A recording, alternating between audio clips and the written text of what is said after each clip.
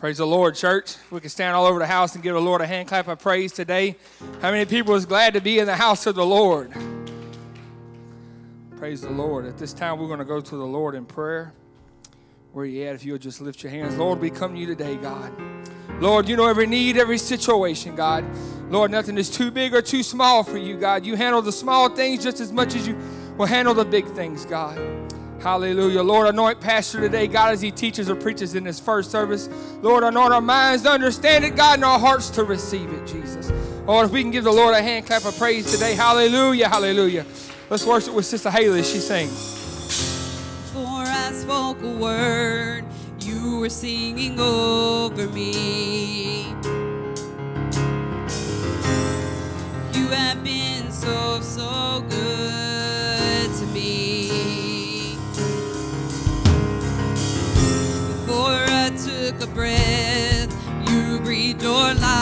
life me. You have been so, so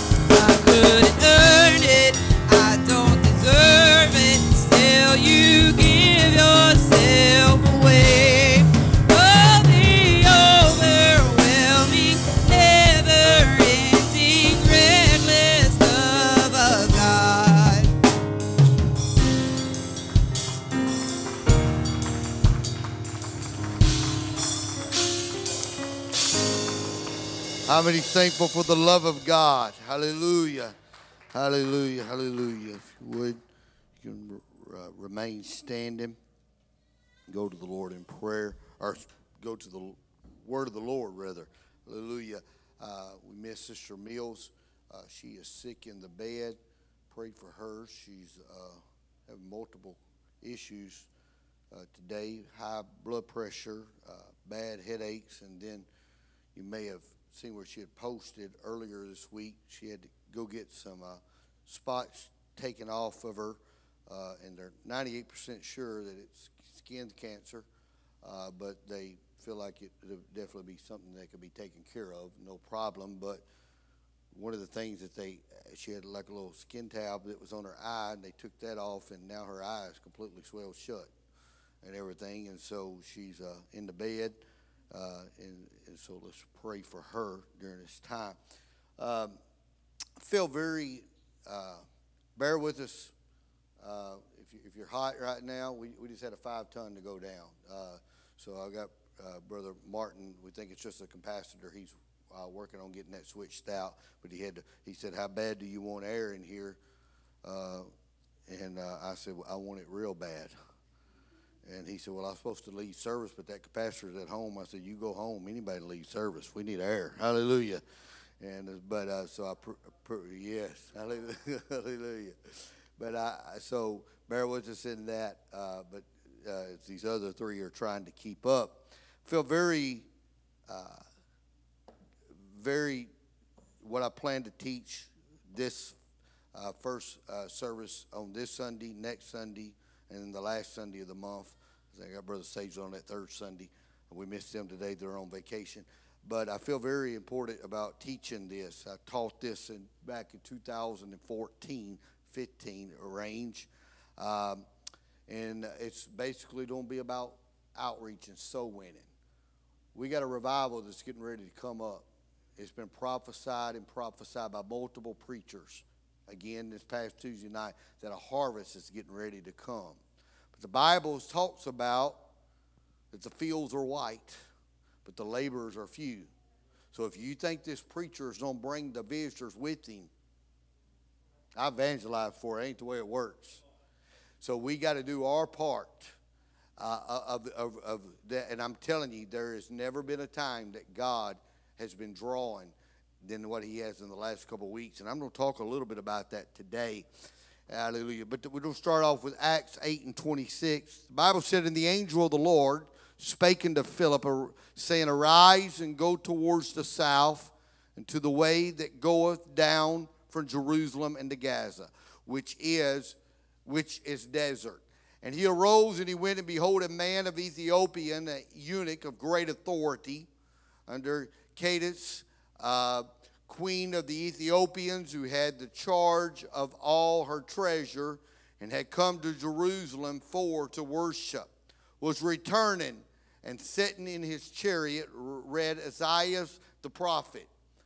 Then the Spirit said unto Philip, it's very important to listen to the Spirit. Go near and join thyself to this chariot. And Philip ran thither to him and heard him read the prophet Isaiah and said, Understandest thou what thou readest? And he said, How can I unless some man should guide me? And he desired Philip that he would come up and that he would sit with him. The place of the scripture which he read was this He was led as a sheep to the slaughter like a lamb dumb before his shears. So opened he not his mouth. In his humiliation, his judgment was taken away. Who shall declare his generation?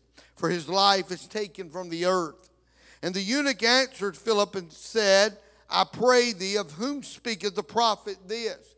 If it's Isaiah talking about himself, or is he speaking of another man? Then Philip opened his mouth and he began at the same scripture and he preached unto him Jesus. And they went on their way and they came into a certain water. And the eunuch said, See, here is water. What doth hinder me to be baptized?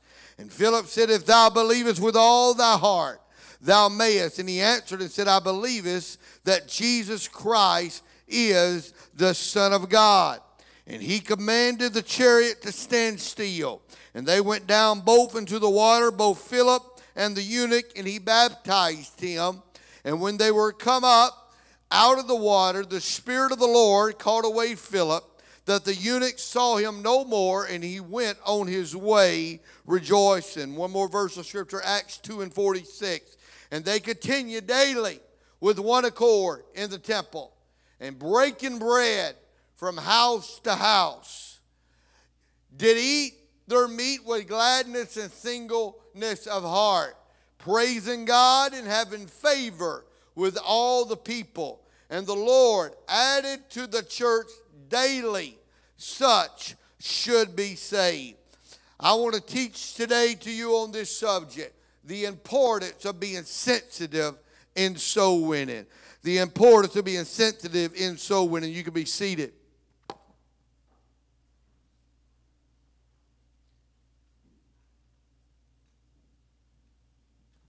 In the book of Acts, we, find, we get to witness three remarkable conversions. In chapter 8, we have the conversion of an Ethiopian, a black man who is a representative of the racial family of Ham, one of the three sons of Noah.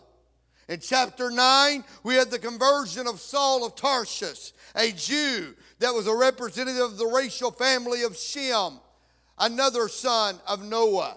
In chapter 10, we had the conversion of Cornelius, a Roman centurion who was a representation of the racial family of Japheth, the third son of Noah. The three great racial families are now made one in the family of God. The curse of Babel, which enforced God's deliberate division of mankind, is reversed uh, in the church. The Ethiopians here may possibly have come from the area of Africa that we now call Sudan, a area that is adjoining the modern country of Ethiopia. Christianity came to Ethiopia at a very early date and time. And who knows, it possibly was introduced uh, into this country by this eunuch. Uh, but the Ethiopian in this story here, he is a eunuch. And in the East, eunuchs often attain positions of great power and trust. Uh, this man held a high office in the native land. He was, in effect, the secretary of the treasurer for that country. He seems to have been a Gentile, God fearing man. And as a eunuch, he was not likely to have been a full convert of the Jewish religion because of the restrictions of the Mosaic law. However, contact with Judaism had convinced him that truth concerning God was to be found only among the Hebrew people. Uh, and God would draw him as a magnet would draw a needle. Uh, I can only imagine with what eager anticipation that he planned for his journey to the holy city. Uh, there he would learn the truth. There he would be among God's people. He could visit the temple. He could make his offerings. He could walk into the court of the Gentiles. He could converse with the rabbis, he could talk to the priests and the Levites. His position, his authority would give him special access to members of the Sanhedrin even to Ananias and Caiaphas, the high priest. Uh, just as Naaman's contact would open doors for him in the very presence of Israel's king. Uh, one can only imagine with what high hopes uh, that this eunuch had when he set off on this expedition. As he came all the way up the Nile River, across the sands of the Sinai Desert, all into the hill country of Judea. But at last, uh, he seen those mighty walls uh, of Jerusalem uh, as they broke into his sight. Uh, he would see the temple in all of its golden splendor, bathed in the fire of the setting sun, like some burning beacon on Mount Moriah. But oh, what bitter disappointment! How bitterly disappointed this eunuch must have been when he seen the materialism, the hypocrisy, the intolerance, the squabbles, and above all, the deadness of Judaism. We do not know. All we know is he come up to Jerusalem to worship, and now he's returning home. Jerusalem has left him disappointed, but in his search, it seems that his search was not over. The Bible says in Acts 8 and 28 that he was returning. He was sitting in his chariot and he read Isaiah the prophet. Had he bought a copy of the Old Testament book of Isaiah while in Jerusalem, he could, if he had, he had not, could not have made a wiser purchase. If he was going to find out about truth, about Christ, anywhere in that Hebrew Bible, it would be in the writings of Isaiah, the great prophet of God. He had not found what he wanted in Judaism. Maybe he'll find it in the scripture. So he begins reading the Bible diligently, plowing his way through, longing for some phase, some key that would unlock the very truth to his hungry heart. The Bible said in the 29th verse, uh, then the Spirit said unto Philip, Go near. Hallelujah. Go near. Philip, you need to leave what you're doing. You're in a mighty revival in Samaria. You're seeing God do mighty things. But I'm going to send you out in the middle of the nowhere, into the middle of a desert, because there's a man out there that is seeking me. There's a man out there that's hungry. I'm going to tell you when God starts speaking, that's the time you need to be sensitive to what whatever God is wanting to speak uh, into your life for someone else. Go near. The old saying is if you don't win souls, you got to get your hands dirty. You, you, better put, you need to remember how you used to be. Such were some of you, but you've been washed. But Brother Mills, I was raised in church all my life. You were still on your way to hell. And furthermore, what could you have been if it had not been for God's grace and God's mercy? So I'm telling you, you got to go near to their situation. You got to get to where their pain is. You got to get to what they're going through. You got to feel their heartbeat. You got to get a burden for them. Hallelujah. Go near. You got to join thyself. I'm telling you right now, if you want to see your lost family say, you need to join yourself to them. If you want to see your co-worker say, you need to join yourself to them. Join thyself to this chariot, to where he's at. You cannot, if you think God's going to fill this church by us just sitting here in four walls and not taking it out of the wall, you're missing the boat.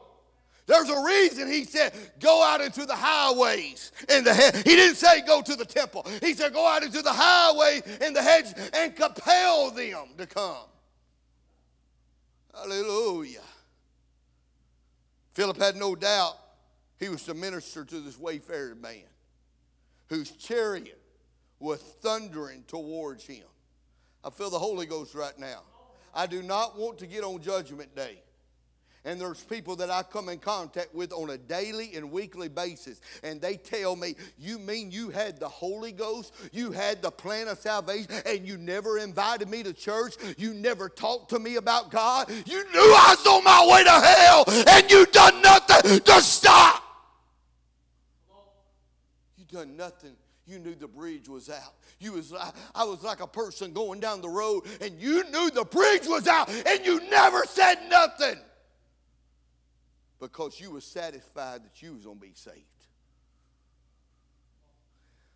I'm telling you, if you'll be sensitive, I'm going, I'm to give you a story here in just a minute of how three individuals from this church in the last three weeks were sensitive, and you didn't even know you were sensitive. And that individual is going to be here in this service, if not the first, in the second service today.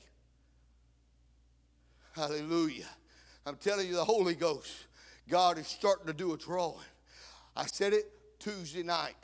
I realize we've been inviting people, inviting people, and they have not come. But friend, you can invite them all you want to, but unless God is drawing them, it ain't gonna do any good. But I'm here to tell you in the Holy Ghost right now, God is drawing right now more than He's ever drawn since I've ever been the pastor of this church. Uh, God is speaking. I'm not having to look for anybody to invite. They're literally coming to me. Ordinary people did not travel in such style, this chariot. Philip could have well felt a rejection. However, he was so sensitive to the Holy Ghost that he had no doubt that here's a soul whose heart is ready to hear of the Lord. Go near. Join thyself to that chariot. The Holy Ghost, after all, is the Lord of the harvest. It's a great thing to be so in touch with heaven that our witness and our attempts at soul winning are directed by the Lord. And Philip ran thither to him. There's an urgency that needs to be in our spirit. He ran. He, he couldn't get there quick enough. I can't miss this moment.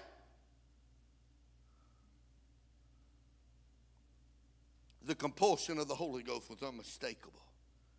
It was not that he just might miss the traveler, but he might miss the text. The Holy Ghost knew just how far the eunuch had read in his reading of the prophet Isaiah. He knew that he had come to chapter 53. He knew just how far down that strategic chapter that he had progressed.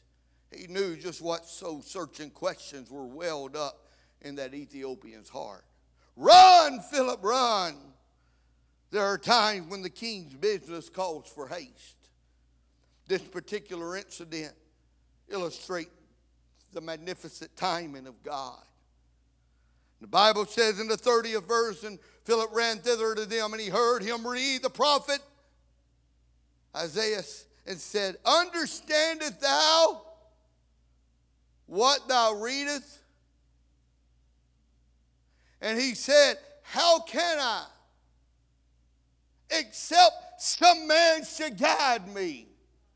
He's literally reaching out for help. And he desired Philip that he would come up and sit with him. Do you understand what you're reading? Philip had asked. And at once, this educated, this culture man confessed his situation. He had no trouble understanding the manuscript. He had no, uh, he had no trouble under being able to read, but he had considerable understanding the message that was in there. Revelation had not come. Place of the scripture in the 32nd verse, which he read, was this He was led as a sheep to the slaughter. And like a lamb dumb before his shears, so open not his mouth. What greater gospel text? What greater opening for Philip?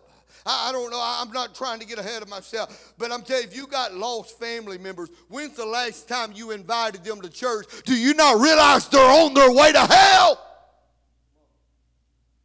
We live like they're not. Why are we even living for God? Well, Brother Mills, I want to be saved.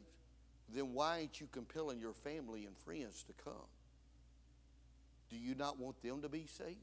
Do you want, my God, I feel the Holy Ghost right now. Do you want your children to burn in a lake of fire? Do you want your unsaved spouse to, no, Brother Mills, I don't. Then I'm telling you right now, you need to start compelling them. You need to start, hallelujah. We got to live.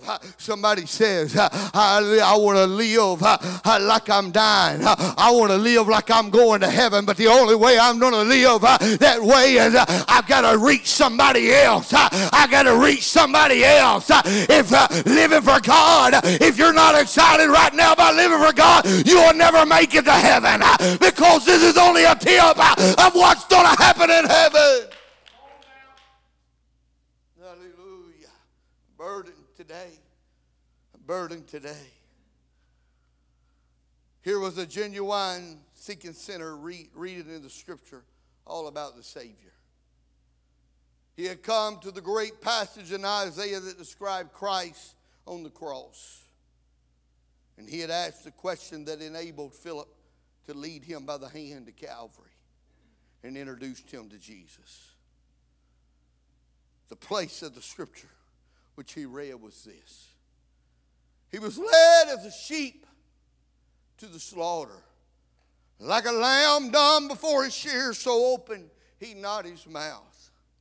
The text tells of the Messiah being silent before his shears.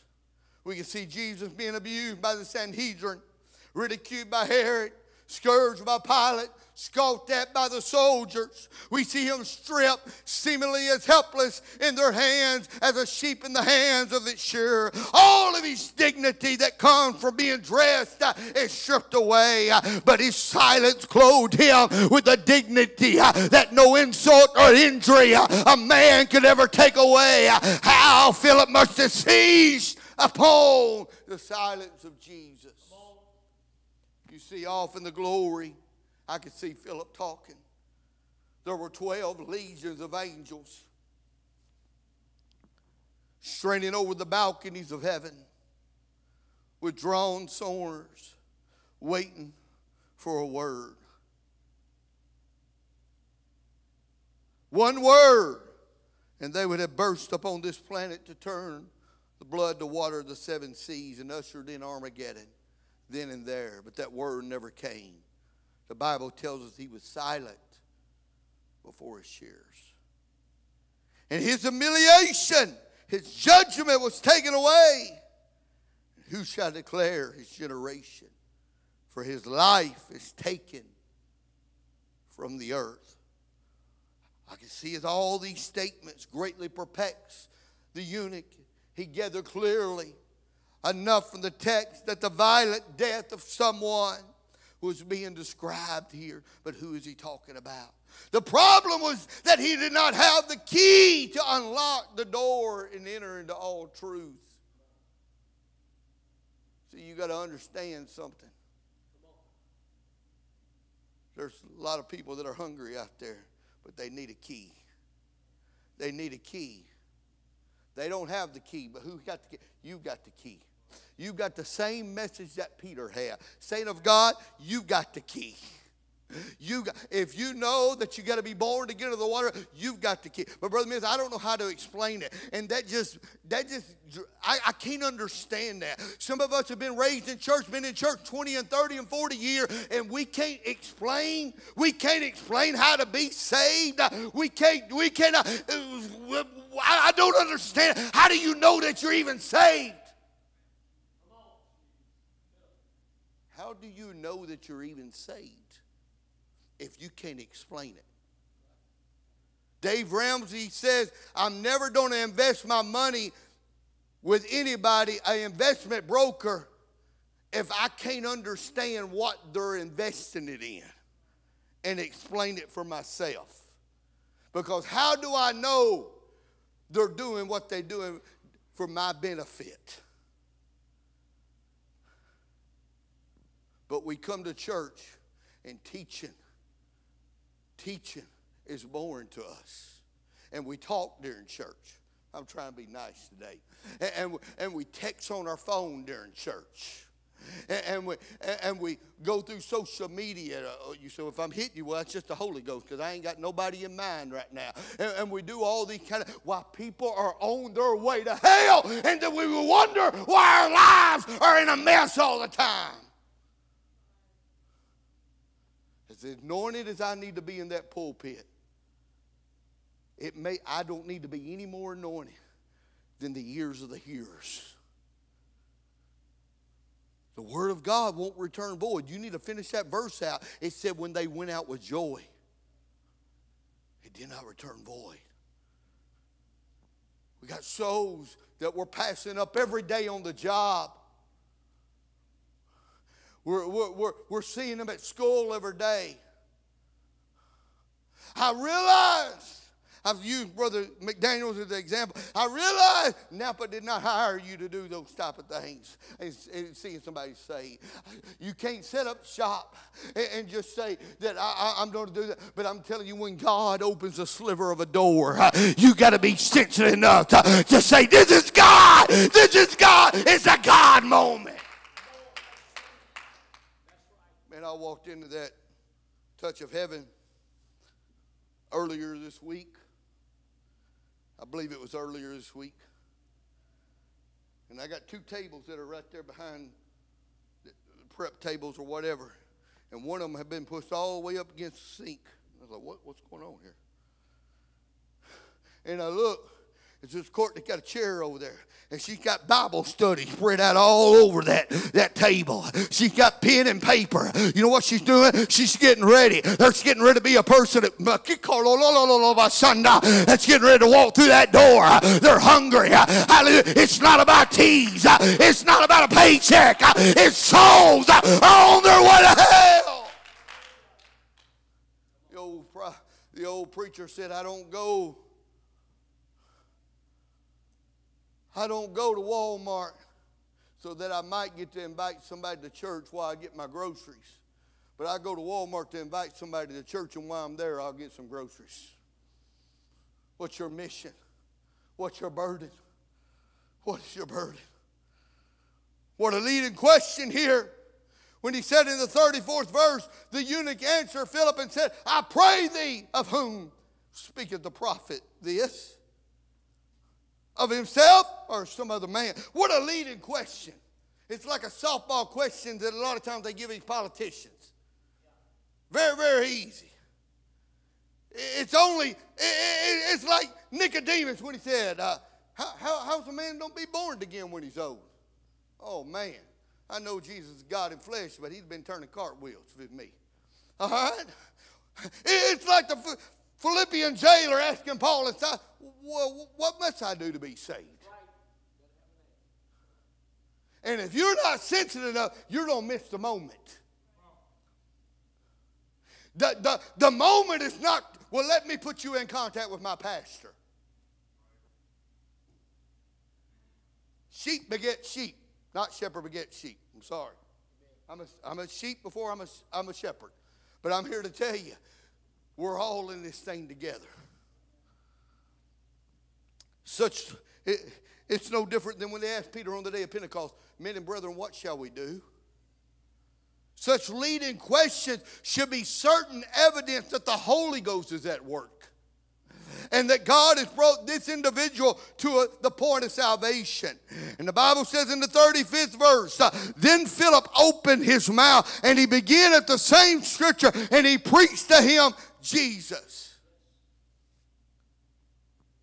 Especially the ministers in this church, you should be able to open that Bible and be able to preach from that scripture. Any scripture. Like what I heard Brother Mark Morgan say here a while back, he said, just put he, didn't. he couldn't remember what scripture was. He said, just put any of them over. I, I can preach from any of them. That, that word is always going to have something in there for him. Philip was delighted to, to relate the great Isaiah passage to the Christ of Calvary. Why, sir, the prophet speaks of another man, and what a man he was. He is the man Christ Jesus. He is the promised Messiah of the Jewish people, born, as Isaiah said, of a virgin. He came, as Isaiah said, and the child was born, and the son was given. He was the wonderful counselor, the mighty God, the everlasting Father, the Prince of Peace, and upon whose shoulders the government is yet to be set. This is the one who was taken from prison and from judgment, who was led as a sheep to the slaughter. And Philip would retrace the tragedy of Calvary, and he would speak of the resurrection and the ascension. Brother Mills, I, am just afraid that I won't know how. I can't explain it good in detail to them. Don't you understand that there's people that have no idea about what that Bible's about? You don't have to be have a PhD in it. The simpler the better. In fact, your greatest testimony is your testimony of what God done. Nobody can tell it like you can tell it, what God done for you. And if it's been a long time since you've told your testimony, then maybe you're not grateful or you forgot where He brought you from. The Ethiopian.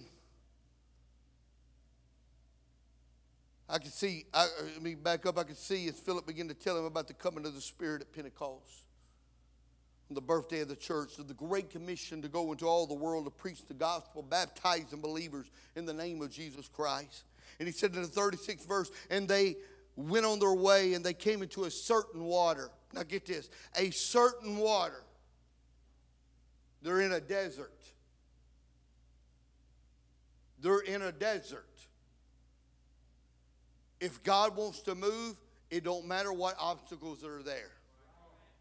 But, Brother Mills, if we would ever get past saying this is why God can't do it, and start believing that if God says it, it can happen, God will make water in the middle of the desert. And they came to certain water. Hallelujah. And the eunuch said, See, here is water. He didn't have to ask him to be baptized. He told him about baptism, and then he simply said, What doth hinder me? From being baptized. The Ethiopian had found in Jesus what he had not found in Jerusalem. At last, his search was over. All of his life had been a preparation for this moment. You see, his education enabled him to read. His scholarly ability enabled him to read the language of the Bible. His high position made it possible for him to travel to Jerusalem. His wealth made it possible for him to buy a scroll from the book of Isaiah. His, interest in Judaism drew him from afar to the city where Christ was crucified. His deep disappointment in Judaism, the great hunger of his heart, all prepared him. Nothing was wasted. All that God allows to come into our lives and individuals' lives is significant. From the cradle to the grave, the goodness of God is at work in our lives to lead us to repentance. And we got hungry souls that are out there. And the first thing we want to say is, they don't have truth, so I'm not even talking to them. It don't even make sense. I don't want to get mixed up with the Trinitarian. If you ain't got rooted enough in this word, then something's wrong. But the Bible said that the Holy Ghost will lead and guide into all truth, which lets me know He gives them the Holy Ghost and they don't have the truth. Now, whether they are led or not is up to them. He's not going to drive them, He's going to lead them. And they come to a point where they have to decide Am I going to follow after God? Am I going to follow after him? Because if he'll give them the Holy Ghost, he's not going to leave them there. I said. But we go around, and a lot of times we're, we're like the Pharisees, and we're looking over there at those Gentiles, and we're looking over there at those pagans, and we're looking over there. They don't have anything at all. I'm here to tell you right now, I'm thankful for the day of every individual that came from different backgrounds. Maybe they come from the drug world, maybe they come from the denominational world. I'm thankful that a sister Christian hallelujah, that came from the Baptist world. There was a hunger in her heart, there was a desire in her heart. Hallelujah. So faith is exercise.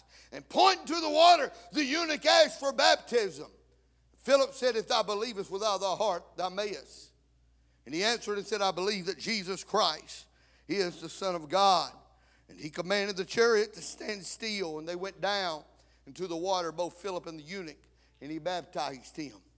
And when they were come up out of the water, the Spirit of the Lord caught away Philip, that the eunuch saw him no more, and he went on his way rejoicing.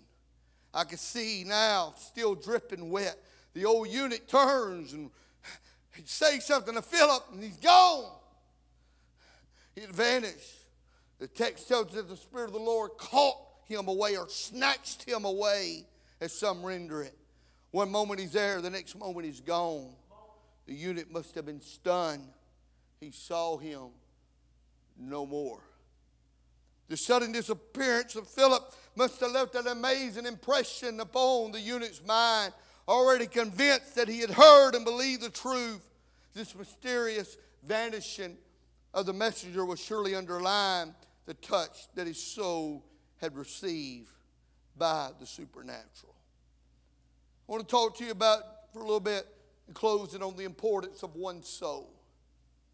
The day of Pentecost was the harvest of Jesus Christ. 3,000 one day, 5,000 the next day. But the outpouring shifted to the work of the disciples. And the scripture records that they continued daily. And then it's, they were in one accord in the temple. So that means when we come here, we need to be in unified. We need to be in unity. It ain't all about what God can do for you, it's what He wants to do for somebody else. Understand, the church is a hospital. It's not a spa club where you can come and you be massaged to make you feel better. But friend, you need to shake yourself and realize there's a world that's on their way to hell. When the outpouring shifted, it began. They continued daily, breaking bread from house to house. House to house. It's what some of the small groups is about here. Fellowship. New ones coming in. I got somebody, one of my new, I'll, I'll talk about it here in just a minute, getting ready to join our Taco Tuesday group. It's one of my customers. Spirituality is not something which we clothe ourselves with on just Wednesdays and Sundays. Notice what the Holy Ghost links together. They continue daily with one accord in the temple. It links the temple, breaking bread from house to house, and the table. The temple and the table. Those that were in love with the Lord found their way to a place of prayer. The temple court was a very convenient place to meet for worship and for fellowship. The spiritual person will seek out a gathering place of God's people. That spirituality will then spill over into the everyday aspects of life and it will bring people together in hospitality. It is the very commonplace things of life, such as eating, drinking, and activities. The Bible said, praising God, having favor with all the people. There wasn't no complaining, there wasn't no criticizing, there wasn't no envy, there wasn't no strife, but the fruit of the Spirit was evident everywhere. We preach a lot, we practice a lot. I pray every day for it, almost every day for it, that I want to be used in the gifts of the Spirit like never before. I believe that's a sign of a revival church, and that's a sign of an end time church. But let me tell you what's more important than the gifts of the Spirit that is the fruit of the Spirit. That's the fruit of the Spirit. Galatians 5 and 22 through 23. Love, joy, peace, long suffering, gentleness, goodness, faith, meekness, temperance. What an attractive company of people that it was a company of people that were praising God. And the Bible said, And the Lord added to the church daily such as should be saved. We talk about that. If God don't add them, ain't nothing we do. And I agree. But we better, we better make sure we're doing verse 26 and the first part of 27 if we want God to do this part in red. That is the only way anyone can be added to the church. The Lord adds to its members those he saves. Psalms 127 and 1 said, Except the Lord build the house. They that labor, labor in vain. They labor in vain that build it. Often we put the emphasis that the great revival of Pentecost is our goal to reach. And, and I, I strongly believe that God can give an outpouring of hundreds at times. Okay? But I don't believe that God, it would be like you going, now you, you got a set of twins, but it would be like you going to the hospital and God blessing you with 10 kids at one time. In all seriousness, He can't handle them. She can't handle them. They can't support them. God is not going to give a church 500 people if they don't have the tools to take care of them. So what happens is the more we get involved of helping the babies and we get out of the baby bed and out of the nursery, the more babies that God can bring to the church. Hallelujah, hallelujah. Your, your best leads is the people that you come in contact with on a daily basis. I received a phone call. This individual is supposed to be here in a minute. I received a phone call. I was here in prayer praying about this message. And as I was praying about this message, Brother Hoyt was here. It was right around 11:30. I was walking right through here, my phone rings. Sister Robbie, and normally, if I don't recognize the number, I hit ignore. Get a lot of spam calls. It was a local number, though, but Brother Shannon something said, answer the phone. So, you know, I'm talking about being sensitive, so I guess, I, you know, all right, God. And so I answer the phone. The lady says, This Pastor Mills? I said, Yes, ma'am, it is. She said, What time are your service times? And I told her. She said, Okay. She said, Well, Pastor, it may seem kind of weird, but over the last three weeks, I have met three people from your church. And I would go up to them and say, Where do you go to church at?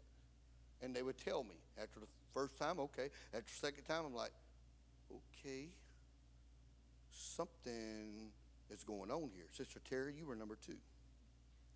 I think it may have started with Sister Megan. And um, she said, um, and on the third time, I'm like, God, I think you're trying to tell me I need to go to the, visit that church. Now, this lady lives all the way over around Siegen area. St. George. She said, I said, I don't believe in coincidence. I believe God's drawing you to this place. She said, I know He's drawing me to this place. And she said, I'm coming. She said, I tried to text Sister Megan. I ain't been able to get a hold of her. She said, or Megan, she said, but she'll see me when I get there because I'm on my way. I'm, I'm just telling you about the, I believe it was God confirming to me about the importance of being sensitive to soul winning.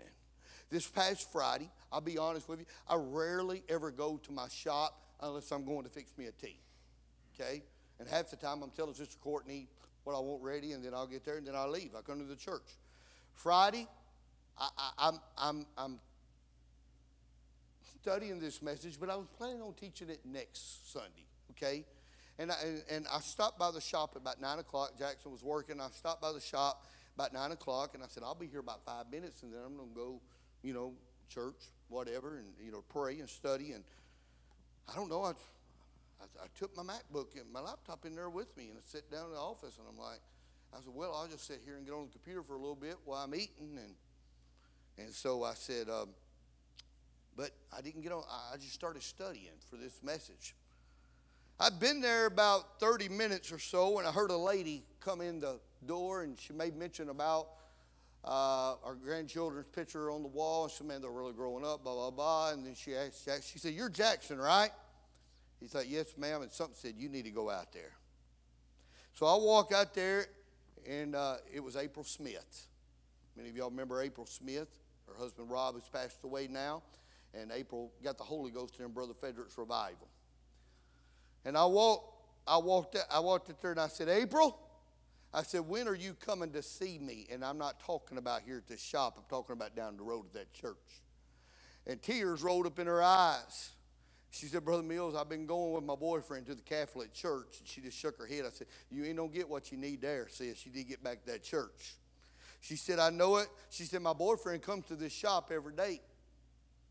I said, Really? I said, Who is it? She said his name is Kevin. I didn't forget his last name. Schilling. Kevin Schilling. And I said, You got to be kidding.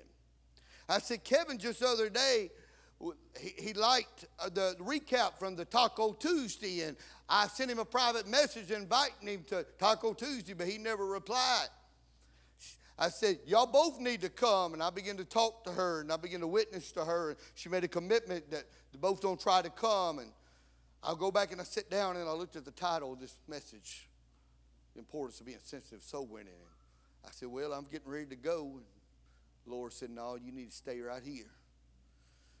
My God, I feel the Holy Ghost right now. 30 minutes later or less, Kevin comes walking in the door. I said, Man, I just got done talking about you, Kevin. He said, I hope it was good. I said, It'll be good if you do what I want you to do. He said, What's that? I said, I need you to come to church. He smiled. I said, I didn't realize that you and April, uh, you know, that was your girlfriend and everything. And he said, Yes, sir. I said, I was talking to her about church. He said, She told me that she used to come to church there. And I began to talk to him. And then he said, because he Catholic, he said, When y'all have them Taco Tuesdays? Can you tell me where, where, you have them at? And I began, he said, I was coming to the last one. I had to work over. Can you give me a heads up and let me know before the next one? I said, You better believe it. I said, Man, and before, so he made a commitment to that. I, I got ready to leave. Something said, No, it needs to stay. And Phyllis, the Horn? Yeah, Phyllis Horn, one of our customers. See, Phyllis, came during the prayer gathering that we had, the community prayer gathering, and she stood either right here or right here for over two hours, two and a half hours, and prayed. I'm talking about a Catholic girl, woman, prayed that whole time. And I'd sent, I sent every now and then, I sent her a, a Facebook private message inviting her to come to church. She'll never reply. And I walked out there, and she was out there. And I said, I ain't gonna say nothing about church. I'm just gonna see how this thing works. And I was just standing by the counter. She looked at me. She said, I got your message the other day when you invited me to church. I said, You did? She said, Yeah. She said, I was out of town, but I'm going to come. I said, You never been to a church service, have you? You've only been to prayer. She said, Yeah. I said, Oh, you got to come to a church service. And I began to talk to her. And and, uh, and and things. Before I know it, it was almost two o'clock before I left that place, and people were just coming in one after another. I, got up yesterday morning and I swung by the shop, and I got there at nine o'clock when they opened, and something said just. I started to tell Jackson just have me one ready and run it out. Something said you need to go in, and, and uh, Sister Patsy, Joseph come walking in, your grandson and he come in and i got to start talking to him about the church.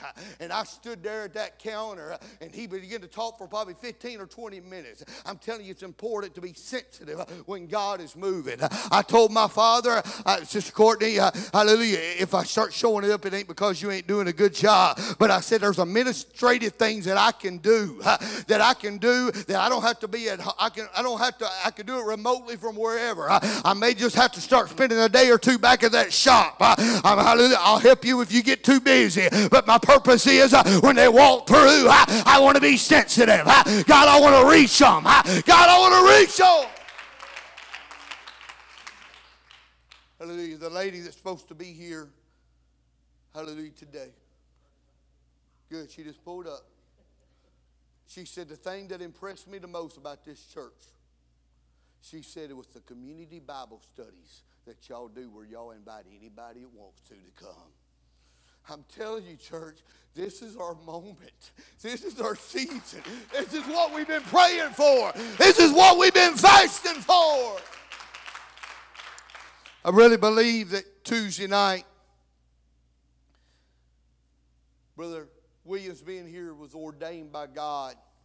He walked so much in the Holy Ghost. I said nothing to this man. This next Sunday, Brother Travis Houston I believe it's going to do the same thing. And the following Sunday, hallelujah, I, I just, uh, I just uh, felt led in prayer last night. Bishop Willie Hollins is going to be with us on the 3 o'clock service. And I tried to schedule him two times in the past. And he had a funeral we had to cancel on. I had a funeral here at the church we had to cancel on and all that and, and wasn't able to do it. But I, am just telling you right now, I believe the time is right. I said, I believe the time is right. Why don't you give the Lord a hand clap of praise? Hallelujah. Thank you so much.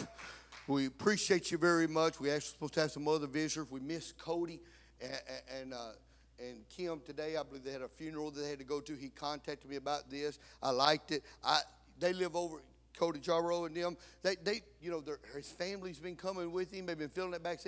I recommend it. See, I, I, try to be kingdom minded. They live all the way at Prairieville now. And I told them, why don't y'all go to Brother, they, you know, Brother Haffer's church, you know, it'll be close for you and all that. They said, well, we're to start there next Sunday. So I, I even contacted Brother Haffer, let him know next, last Sunday, they showed up back here again. I said, I thought y'all was going over there. They said, Mom and Dad said, we just like it too much over there. We want to, I said, keep on coming. Keep on coming. Uh, Sister Courtney and Brother Sidney's working on Bible studies with them. I'm telling you right now, this is our moment. Why don't you give the Lord a hand clap of praise?